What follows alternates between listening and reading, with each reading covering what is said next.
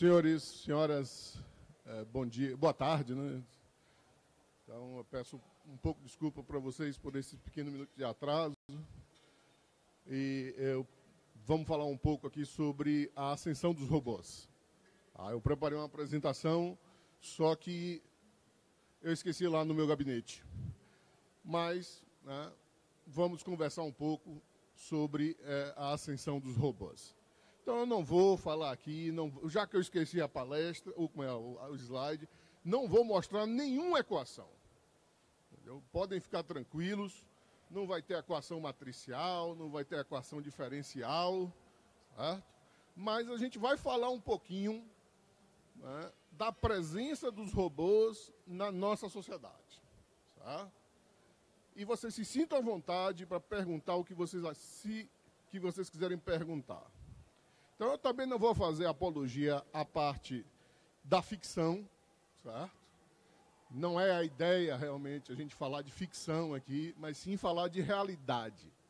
Falar do que é o robô na, na, na sociedade desde a sua primeira participação, uh, que foi na linha de montagem da General Motors, nos Estados Unidos. Então, quando a gente fala de robô? A gente está falando de uma máquina que é composta de elos e juntas, reprogramável, que tem uma ferramenta e que permite fazer múltiplas tarefas. Certo? Então, não existe o robô sem hardware. Não existe o robô sem parte mecânica. Certo? O que as pessoas chamam de robô de internet, na verdade, é o que a gente chama de agente. A inteligência artificial chama de agente. Então, robô tem que ter elos e juntas, tem que ter algo que permita que seja reprogramável e tem que ter uma ferramenta para fazer o trabalho que lhe é necessário. Certo? Então, inicialmente, os robôs, eles apareceram na sociedade como os robôs manipuladores, que são aqueles braços mecânicos que a gente vê né, é, nas indústrias, é, é, especialmente na parte da indústria automotiva, onde né, a, a presença deles é muito forte. Então, inicialmente, um robô era composto por sensores, atuadores e um sistema de controle. Quer seja um sistema de controle de posição que permita a gente pegar uma peça de um lugar e colocar em um outro lugar, ou um sistema de controle de rastreamento de trajetória. Por exemplo, eu quero pintar essa parede aqui, então eu vou fazer esse movimento aqui, ó. Que é o rastreamento de uma trajetória. Certo?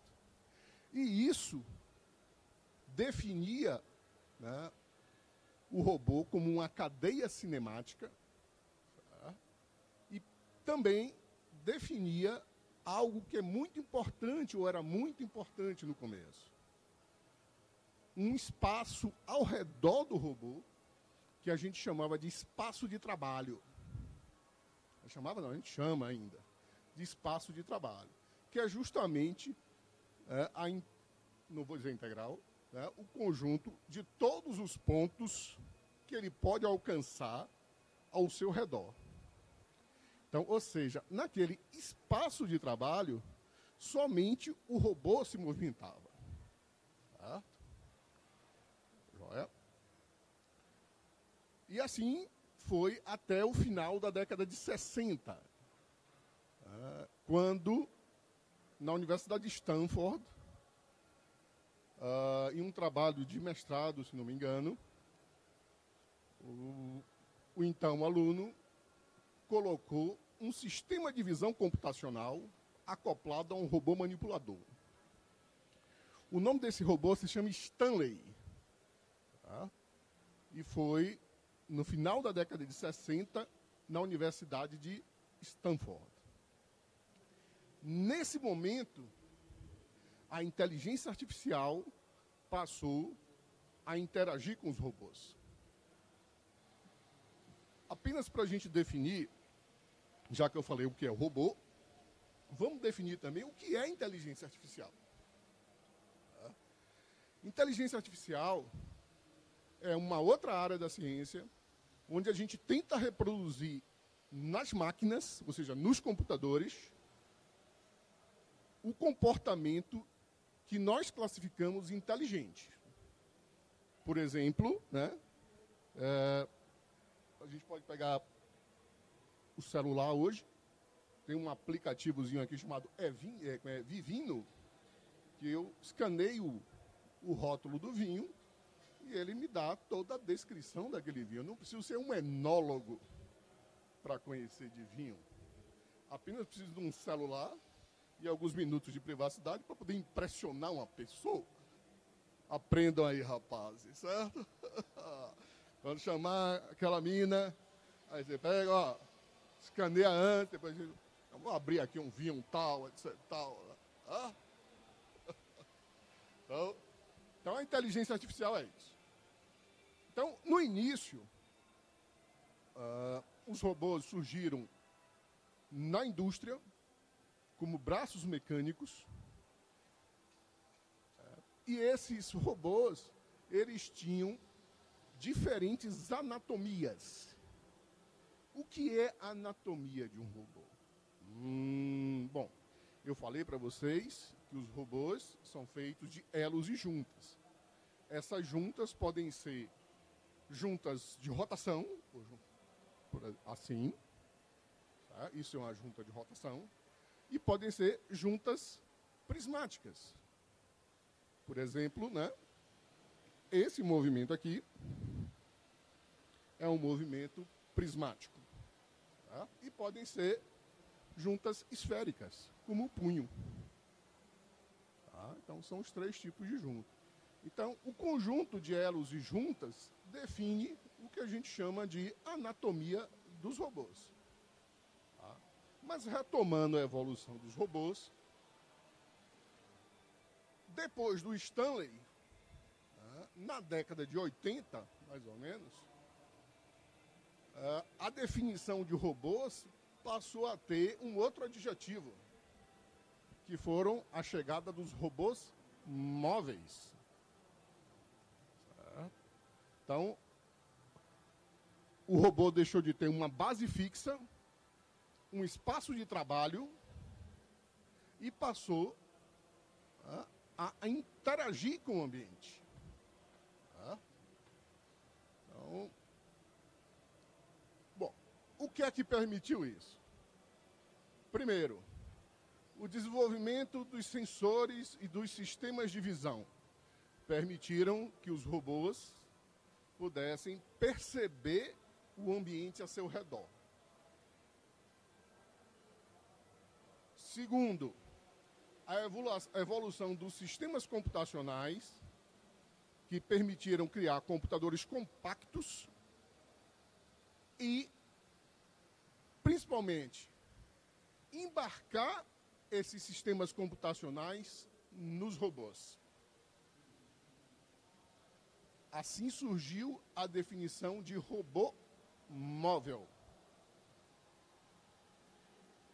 Que, diferente do robô tradicional da RIA, né, o robô manipulador, o robô móvel ele está imerso em um ambiente. Veja que não existe mais espaço de trabalho, e sim existe um ambiente.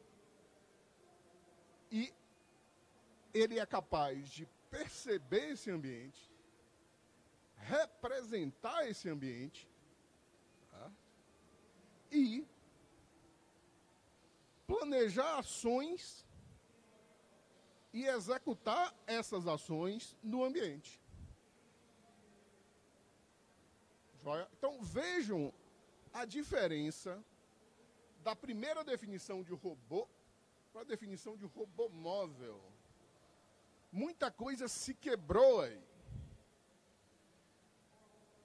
além da, da definição inicial de juntas e elos, que agora o robô pode ser simplesmente é, uma caixa com rodas e motores, e, tá? ou ainda, né, um robô omnidirecional. O que é robô omnidirecional? É aquele robô que ele anda em todas as direções, sem necessitar mudar a orientação dele. Diferente dos carros, que eles são diferenciais, então um carro não faz este movimento aqui, ou este movimento aqui. Ele tem restrições cinemáticas, assim como um avião não faz. Um helicóptero faz. Um drone faz. Um drone é um robô? É. Um drone é um robô. Então vejam, do chão de fábrica, os robôs ganharam, quebraram o espaço de trabalho. E vamos dizer assim metaforicamente, saíram do chão de fábrica. E hoje nós temos robôs móveis com rodas, robôs móveis subaquáticos, que são submarinos, controlados né, por um computador. Temos robôs móveis aquáticos, que são catamarãs, barcos, lanchas, é, vamos dizer, sem piloto. Temos robôs móveis aéreos, sim, drones, como a gente tem aqui na, na Batalha de Drones. Tá? Temos aviões, são bastante utilizados, uh, principalmente para aplicações bélicas, o que é, é uma coisa lamentável, mas infelizmente a vida é assim. Tá? Temos ainda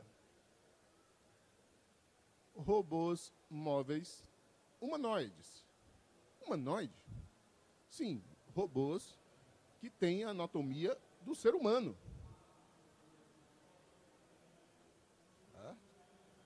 Sim, temos robôs com pernas, braços, cabeça, cintura. Ah, esse cara está suindo? Não. Procure no Google. Boston Dynamics tem um robô chamado Atlas. O Atlas é um, um colosso em termos de robótica. Ele é um robô humanoide, tem controle de, de equilíbrio, é autônomo.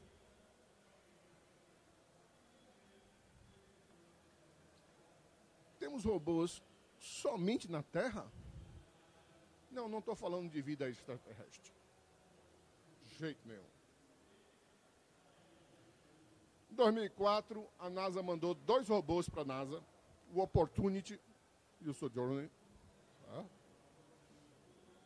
E esses robôs é, tiveram a missão de mapear o solo, luna, o solo de Marte durante 120 sóis, que como o dia em Marte é o diferente do dia na Terra, né? então se conta em sóis e não em dia. Um dia para a gente tem 24 horas. O dia de lá não tem 24 horas. Tá?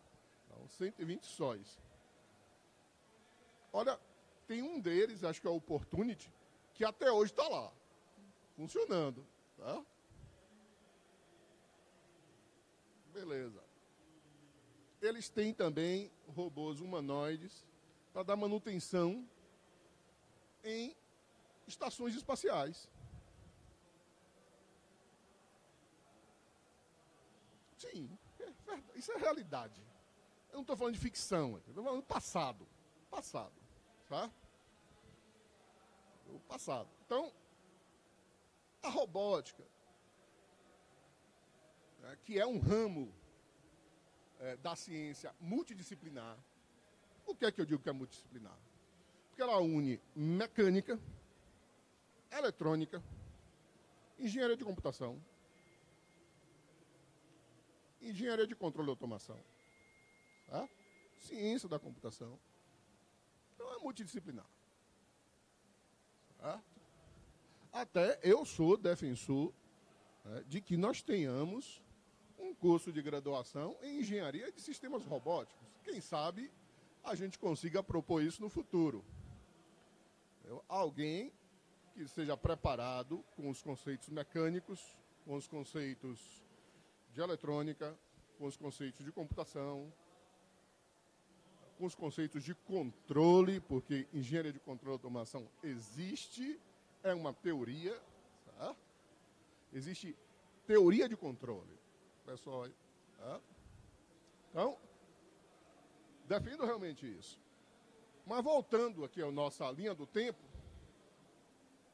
depois de 2004, né, que tivemos aí os robôs em Marte, novos desafios apareceram.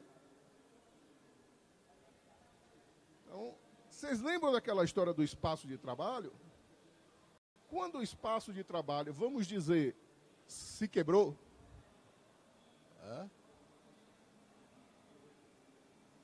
os robôs passaram a ter um ambiente, e nesse ambiente saiu do determinismo para o não determinismo. O que é isso, professor? O senhor está complicando? Não, olhe bem. O que é que é determinístico? Se eu estou aqui nesse palco, sozinho, né, e a única coisa que se mexe sou eu, eu sei onde estão todos os, obje os objetos, todos os obstáculos, e eu posso né, transitar tranquilamente no meu espaço de trabalho, tá? sem colisão, que era a realidade dos robôs humanoides.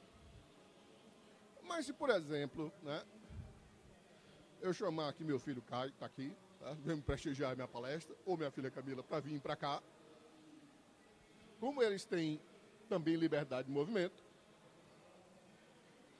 tá? o espaço deixa de ser determinístico. Ou seja, no momento que o robô trocou o espaço de trabalho, na verdade, não é que o robô trocou, vou tirar, reformular a frase. No momento que nós, seres humanos, tiramos o robô do espaço de trabalho e colocamos ele em um ambiente, esse robô passou a ter a necessidade de reconhecer esse ambiente e reconhecer quem são os, uh, as pessoas, os atores que estão ali, os objetos móveis, os objetos fixos. E ele precisou interagir com esse ambiente. Tá? Então, isso deixou de ser determinístico.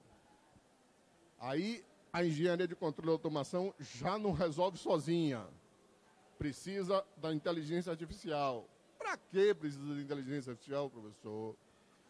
Precisa para o sistema de visão, precisa para a modelagem do ambiente, precisa para tomar decisão e aí depois usar um sistema de controle para executar os movimentos.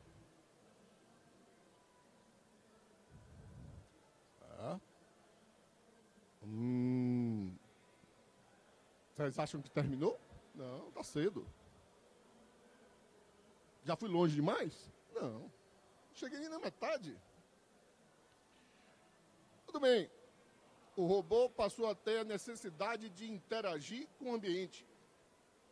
Aí a minha pergunta para vocês é: e se nesse ambiente tiver outro robô? Como é? E se nesse ambiente tiver um ser humano? Como é? A resposta é simples. A resposta é capacitar esse robô para interagir com o ser humano, para interagir com outro robô. Ah, isso é possível? Já é passado. Hoje, os robôs da KUKA, que é uma fabricante alemã de robôs, eles têm controle de força em cada um dos, dos sistemas de controle, de forma que, se por acaso, imagine que meu braço é um braço robótico, tá? Eu bater aqui nesse obstáculo, certo? O sistema de, de, de controle de força vai sentir que eu não estou mais fazendo um movimento em um espaço livre. Sim, que eu encontrei um obstáculo que não estava no caminho. E aí ele retira o estímulo do atuador, que é o motor, certo? E o robô não esmaga uma pessoa. Isso é realidade, meu amigo. Entendeu? Não é passado. Não estou falando de. Mas já é passado. Eu não estou falando de futuro. Não é um aluno meu de doutorado que vai defender amanhã ou depois. Não. Isso já é, já é produto. Você compra. Você vai lá, paga e compra. Tá? Vamos lá. Ah, e está só na indústria? Não. Em minha casa tem um robozinho lá, que é robô, robô certo? que é o mesmo Roomba, que eu ligo e ele aspira, melhor, ele varre, aspira, passa o pano, ainda passa a luz ultravioleta na casa inteira, sem bater em nenhum móvel. Não, eu não trouxe isso do exterior, não, é fabricado no Brasil, eu comprei pela internet. Tá?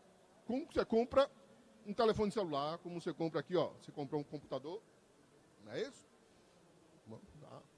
O Ropó, você compra hoje. O que é o Ropó? Ropó é um robô móvel,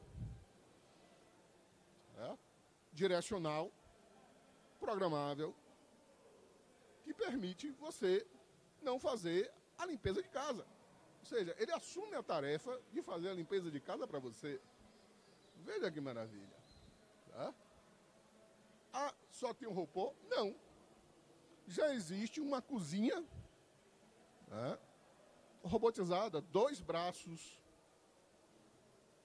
é, é, vamos dizer assim, dois robôs manipuladores, tecnicamente falando, que eles fazem todo o serviço de limpeza da pia. São, isso é um, um são dois robôs que trabalham conjuntamente. Ah, um robô interagindo com o outro. Ah, interessante.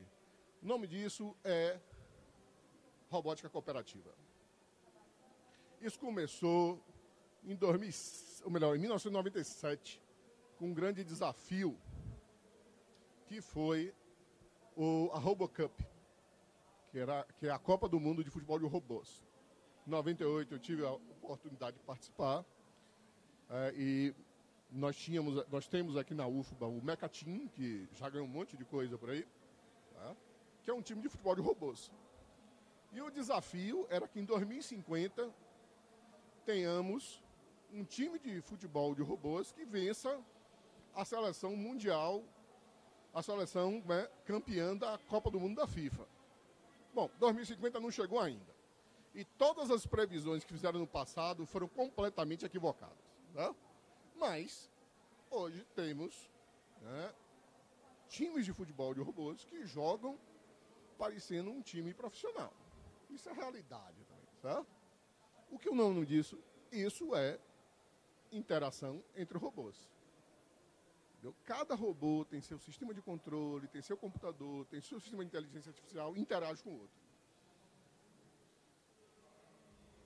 Ah, mas isso aí é algo lúdico, é só da diversão. Alguém aqui já ouviu falar em indústria 4.0? Pois é. Já ouviu falar em internet das coisas? Pois é. Collective Robotics, ou sistemas multirobôs, são isso.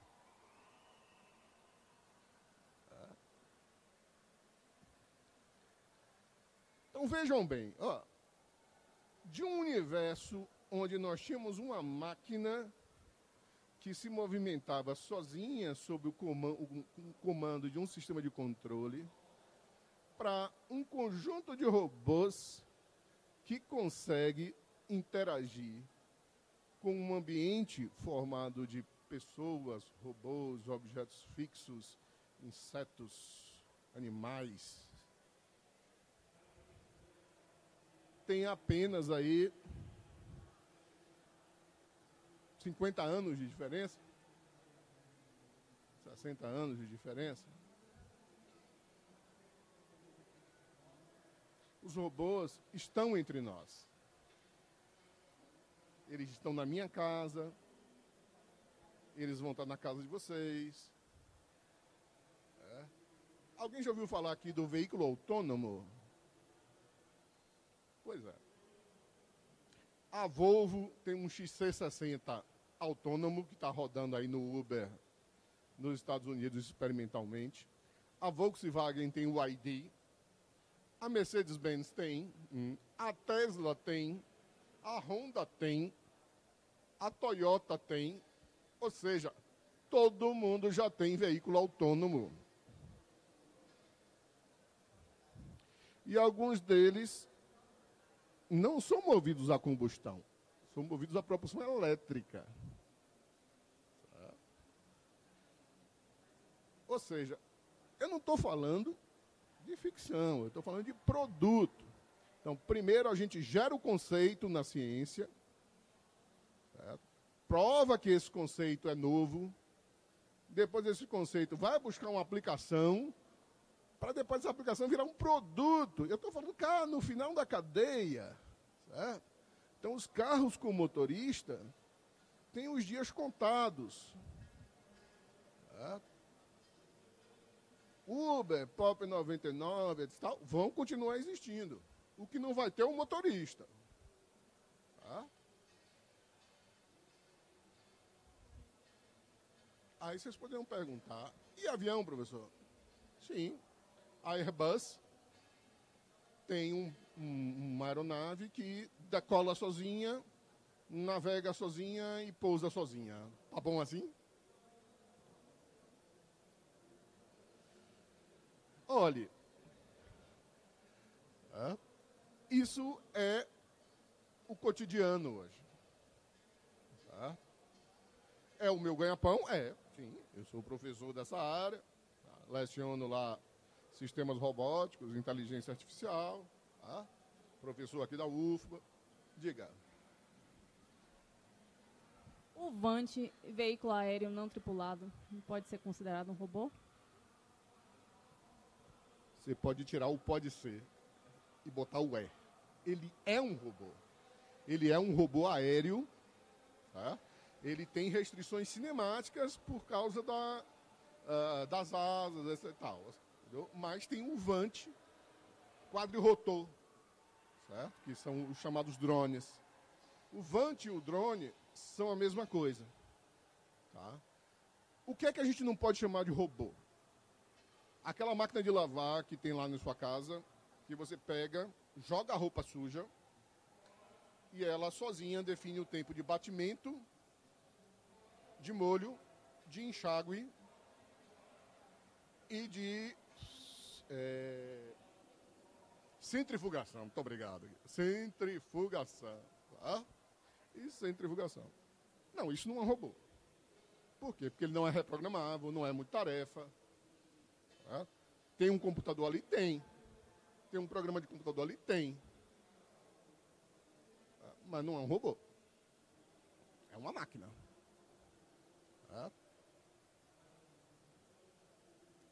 O Vante, sim. O Vante é um veículo aéreo não tripulado, é um robô, já tenho experiência. Nós temos alguns, alguns drones lá no laboratório.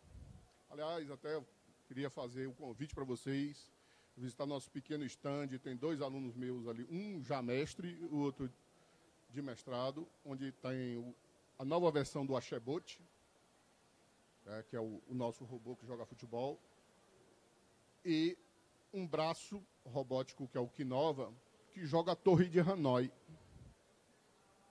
O que é Torre de Hanoi? É, é um jogo de planejamento, que você tem três pinos três ou cinco discos e você deve empilhar os discos de forma que o último disco seja o disco de maior diâmetro e o disco do topo de menor diâmetro. E você não pode botar um disco menor em cima de um disco maior. Ou seja, é um desafio de planejamento. Requer inteligência ou cognição para fazer isso. E foi o trabalho de mestrado dele. Ele está ali no stand com o Kinova, e o jogo, a Torre de Hanoi, botando a Torre de Hanoi para jogar, certo? Por favor, visitem, prestigiem lá meu, o, o, o, o agora não é mais meu, mestre, né, Edir Moreira, está lá. Certo? Márcio é o que ainda está, vamos dizer assim, em processo, que o Axebot ainda não, não está, o Axebot 2 ainda não está pronto. Certo? Então, tem mais desafio? Tem, claro que tem. Eu não falei nada aqui em aprendizado ainda. Mas eu falei do robô que limpa a casa, né? Ele conhece como é a sua casa quando você tira da caixa? Não. Ele aprende como é a sua casa. Hum, como é? Ele aprende sozinho? Ele aprende sozinho. Então, você bota um robô desse para navegar em um ambiente, um escritório, um conjunto de salas, ele consegue fazer um mapeamento e ter um modelo tridimensional de como é o ambiente. Isso é muito usado hoje.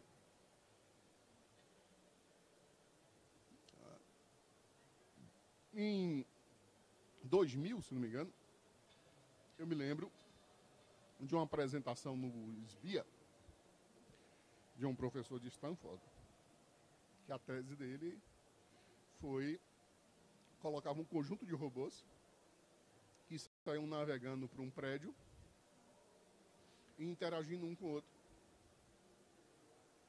No final, esses robôs tinham um modelo tridimensional de como era o prédio. Veja, isso tem quase 20 anos. Temos aí aprendizado, temos inteligência artificial, temos robótica. E isso tudo está junto. Onde é que a gente vai chegar? Olha, é difícil prever o futuro, principalmente nesse momento de incerteza que a gente vive aqui. Tá? Mas o futuro não está escrito. E seria, e acho muito interessante uma máxima, uma frase do Alan Turing, que há pouco tempo atrás fez seu centenário de, de nascimento, foi Alan Turing foi a pessoa que idealizou o computador. Ele não construiu, ele era matemático, mas ele idealizou o que seria o computador. Ele só esqueceu de uma coisa, dos dispositivos de entrada e saída, né? que precisou de um engenheiro para fazer isso. Né? Mas né, o Alan Turing é considerado o pai da computação, ele inventou o conceito de processador, de memória, de programa armazenado em memória, todos esses conceitos o Alan Turing é, é, é deixou para nossas futuras, nossas gerações e para gerações futuras que virão aí. Tá? E ele dizia o seguinte: nós podemos enxergar é, até uma pequena distância avante. Mas até lá há muito caminho a ser percorrido. Essa máxima dele é de uma sutileza genial. Por que tanta sutileza e por que tanta genialidade? Quem poderia imaginar é, o smartphone na década de 70?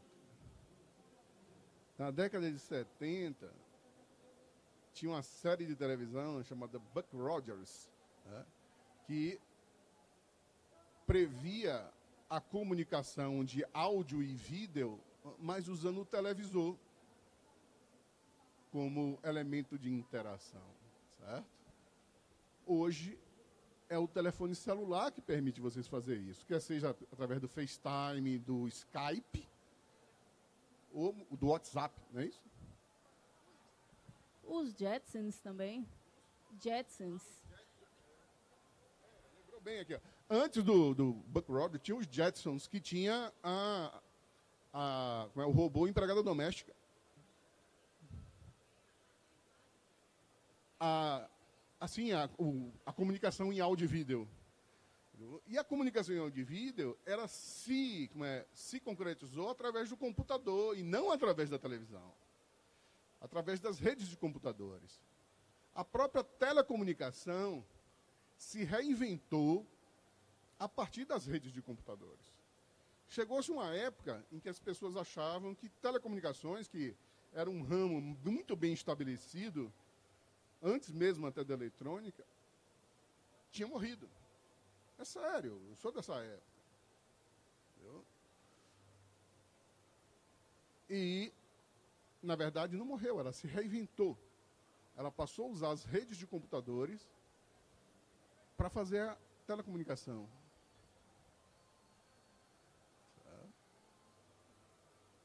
A eletrônica, sim, a eletrônica hoje se resume, se resume a é, é? sensores, atuadores. Todo o processamento de áudio, vídeo, ou de caracteres, ou de dados, hoje é digital. Eu mesmo, na época que fazia eletrônica na escola técnica, eu fiz eletrônica na escola técnica, os alunos do IFBA aí podem sonhar e tal, eu espero que meu filho eu que vem esteja aluno do IFA também. Eu fiz eletrônica na escola técnica, depois fiz politécnica, fiz mestrado, fiz doutorado, hoje sou professor da UFBA, lá da Poli, eu, do, do, Departamento de Engenharia Elétrica e de Computação. Mais precisamente, laboratório de robótica, lá vocês me encontram. Certo? Bom, a moça do cartaz já botou ali que eu já estourei o tempo. E aí tem um tempo para as perguntas. Eu acho que ainda tem tempo para pergunta, não tem?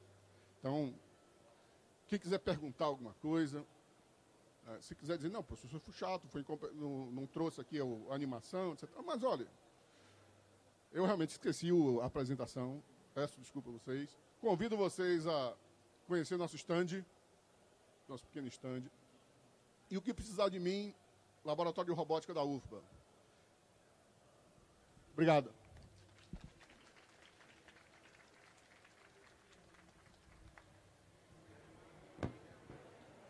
É, Oi, professor aqui. É, boa tarde. É, na verdade, eu sou aluno de letras, né? Eu estou aqui só só para conhecer um pouco dessa área. E assim, a gente tem a linguística cognitiva, a gente tem Noam Chomsky, né, na linguística, ele foi super importante. A minha pergunta é nessa multidisciplinariedade da robótica, onde é que entra a linguística assim, para que o o robô tem uma comunicação verbal nessa interação, tanto com outros robôs quanto com seres humanos. Você já ouviu falar de Sofia? Já? Pois é, Sofia é um robô que conta piada, interage com seres humanos e a inteligência artificial, né, mais do que uh, a, capac a, capacitação de Sofia a interagir através da fala, né, ela já tem outros resultados como, por exemplo, o corretor gramatical. O corretor gramatical em português foi desenvolvido no Brasil, em São Carlos, por colegas nossos. Nada mais é do que algo que a gente chama de processamento de linguagem natural, PLN. Tá? Aí entram as letras. E a capacidade de interação através da fala é algo né, que o pessoal que trabalha com interação humano-robô tem trabalhado ostensivamente. Um exemplo desses é a Sofia, um outro exemplo é o Watson da IBM.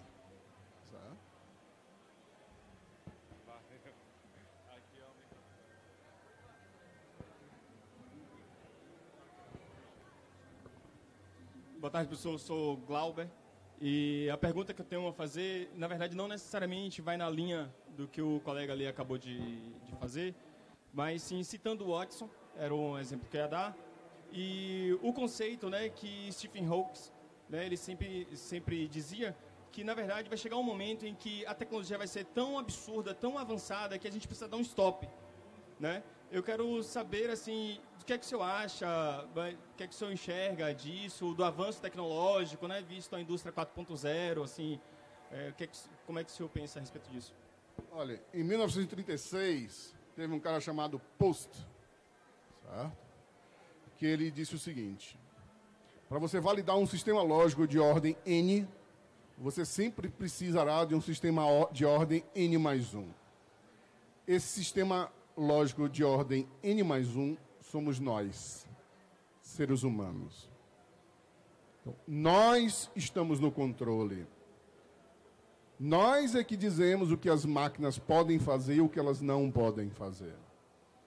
Por isso, é importante o conceito de cognição e a cognição precisa ser declarativa. Tá?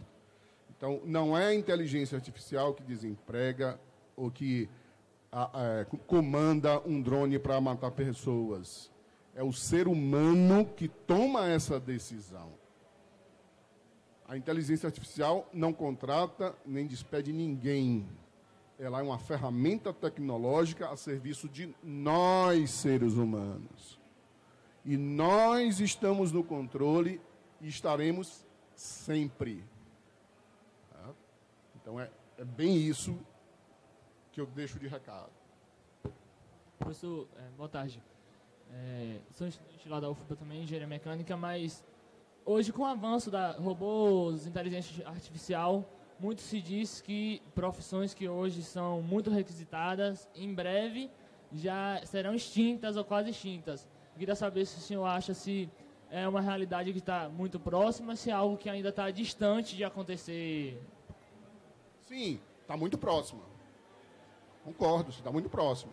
Agora, por exemplo, né, eu falei para você que meus filhos estão aqui, né, eu não criei eles para desarmar artefato bélico, certo? Que é uma coisa que pode explodir enquanto eles estão trabalhando. Tá? Então, existem muitas atividades periculosas que é sacrificante você botar um pai de família para realizar. Eu já trabalhei em indústria petroquímica. Antes de ser professor, fui, fui peão, trabalhei com técnica eletrônica no polo petroquímico, certo? É, felizmente, eu nunca vi nenhuma, nenhum acidente grave. Felizmente. Mas você trabalha em cima de uma bomba. É. Se uma caldeira daquela explodir, meu amigo, Camaçari vai virar cinzas. A realidade é essa. Tá? Bom, mas vamos lá. Nunca aconteceu. Sim, de fato é. Mas, novamente, o que eu trago é o seguinte, ó. Para quem roda os meios de produção, tá? Tem um cara chamado Karl Marx, tá? o velhinho lá, o barbudo, que dizia o seguinte: ó, quem produz tem que ser dono dos meios de produção. Tá? É isso aí.